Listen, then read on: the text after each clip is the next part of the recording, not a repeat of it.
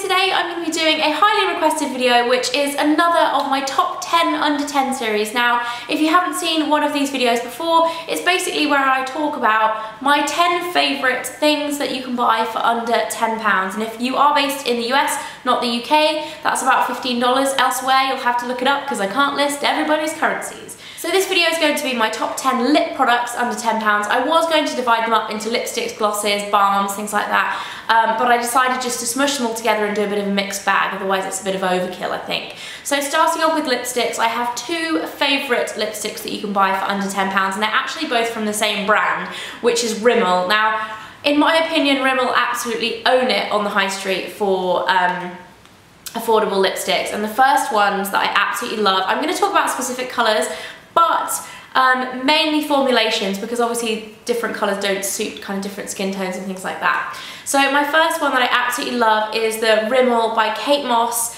nude lipstick in number three. All of the lipsticks in this range are really beautiful. They're a really creamy, lovely formula, um, but the nude is a particularly good nude for me. I really like it, and like I said, the Kate by Rimmel lipsticks are really, really lovely. So my other lipstick choice is also from Rimmel, and this is one of their Moisture Renew lipsticks. Now, these are a fairly old line. I believe they've reformulated them in the last kind of month or six weeks. Um, they've reformulated all of the line and they've also introduced new colours. This is a new colour called As You Want Victoria. It's a gorgeous kind of fuchsia, but it does tilt towards more of a red. It's not too pink. I really, really love this kind of colour. The formula of these is super moisturising. They really, really feel like a balm. The only disadvantage to these is that they can get a bit smudgy because they are so moisturising. They're not like matte on your lips and they don't kind of stick in the same spot. Um, so that is the Moisture Renew lipstick. In terms of glosses, my first favourite gloss under £10 is from NYX. And this is the colour Natural, but in this instance, I'm not really talking about a specific colour. All of these glosses are so lovely. The formula of them is delicious and creamy and thick, but they're not sticky and they smell like sweeties. They smell like fake cherry smell. It's so good. Some of the colours are a bit iffy, some of them tend to be a little bit shimmery, but in general, the whole of this line is absolutely lovely. They are the Mega Shine lip gloss. They do have a few different kinds of lip gloss, but the Mega Shine ones are by far the best, the ones with the bows on the end. Really, really lovely and very affordable. And then my other favourite gloss is from L'Oreal. This is one of their Glam Shines, and this is from a limited edition candy collection. Um, I can't even remember the name of it, if I'm honest. Here it is, Tart Lollipop. Um, but in general, I just really love these glosses because they are really not sticky. They smell nice. They apply nicely. They're just a really kind of nice gloss, especially if you're going to put one over the top of a lipstick. I don't really wear gloss on their own very much, um, but these are really, really lovely and they just are nice to apply. The applicator is this kind of like doe foot, but slightly flexible, almost heart-shaped one, and just, yeah, really, really nice. I love these. I think they're some of the best on the high street when you're looking at lip glosses. Moving on to lip lacquers. Another product from Rimmel is the Rimmel Apocalips lip lacquers. I've spoken about these products a lot, but they are really, really wonderful. These are actually called the Show Off um, or Show Offs in the States, not Apocalips, but they are the exact same product. These have incredible pigmentation. They last all day long. And they dry, not to a matte finish, but it is a very kind of lipstick, almost satiny finish. And they just last for absolutely ages. You can eat in them. Fantastic and amazing for their price as well. Another thing that is an absolute bargain um, for the price is the L'Oreal, I forget what these are called, the dupes for the YSL Glossy Stain. YSL is actually owned by L'Oreal, so this product is pretty much exactly the same, I'm willing to bet. They are very, very similar. The colour selection in the L'Oreal line isn't as nice as in the YSL. However, this is a really beautiful colour. This is Infinite Fuchsia. There are a few other ones. The red is really nice in this line as well. These, again, are incredible, long-lasting. These are a lot more glossy than the Apocalips ones, but they last and last and last. They are quite sticky, they're kind of like a stain that you build up. I put about three coats of these on to achieve the kind of desired effect, that really glossy, really, really pigmented colour.